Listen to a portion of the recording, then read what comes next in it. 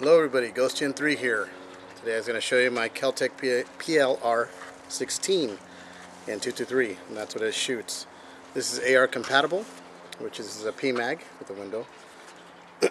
Empty as you can see it, I check all my weapons before, so for you guys that get stressed, look at that, 30 rounder right here. It takes any kind of AR mags, the metal mags, all that, I've tried them all. Now, I'll tell you some issues on this in a bit, but thought I'd show you first and we'll go over some of the specs. Let you look at it real quick. Pretty cool little weapon. Had it for a long time. Haven't shot it in a while. And I'll tell you why. Basically, it's got some issues, which I'm not happy about. I'm going to return it to the factory, and I'll let you guys know what happens there too with Keltec.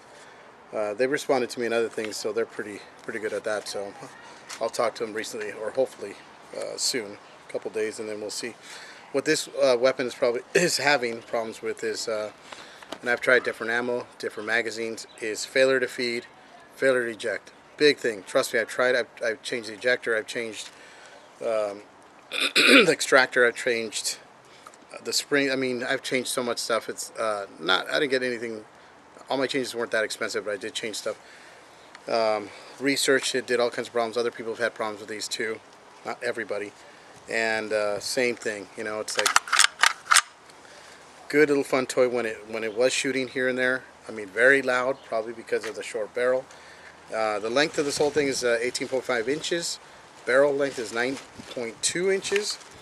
Um, its weight is 3.4 unloaded. And uh, it's got a twist rifling of 1.9 inches right hand twist Trigger pulls between 5.5 and 7.5 pounds, according to Keltec. I've never had, uh, I don't have a device to measure that. Its uh, muzzle velocity is 2,600 feet per second, gas operated. And the rest of it is, you know, that a lot of people say polymer plastic. It's high impact glass, reinfor uh, glass fiber polymer. So I've never had a problem with this getting hot. Felt the barrel getting hot when it would used to shoot. Um, here, for you guys that uh, have suppressors or in a suppressor state uh, friendly. Or you can change it to a different flash hider that kind of stuff. It's pretty cool. So that's easily done. And this weapon's not too hard to take apart. I'm not going to be doing on this video yet. I want to get it hopefully repaired first. And um, anyways like I said wait feed in the magazine not a problem. You know like the bolt by the way, last round, uh, that just reminded me right here, the bolt will stay open.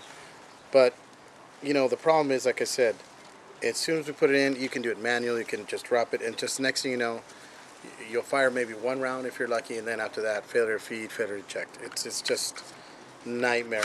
Um, really started pissing me off. You know how you, who likes their weapons to not work? I mean, nobody does. But it's a fun little weapon. It's got a top rail right here. Got your rear sights. Not the greatest sights, but hey, like I said, it's a different type of weapon. The front's more like an AR type sight, as you can see. And you can adjust right here on these, uh, on this one right here for windage and elevation up here like it is just for, just like an AR sight. The rear is not. And here's your magazine release. But like I said, it's a great little fun weapon, but it started having problems so I haven't shot it in a while, been so busy.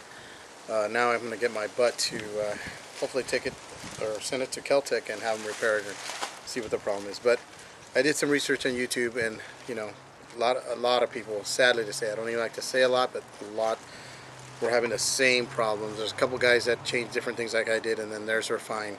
Mine, unfortunately, not. So uh, we'll see and I'll keep you guys updated, do another video on this to let you know. Like I said, I was going to fire it, let you guys see it. It's a lot louder than just a straight 16-inch barrel on the AR.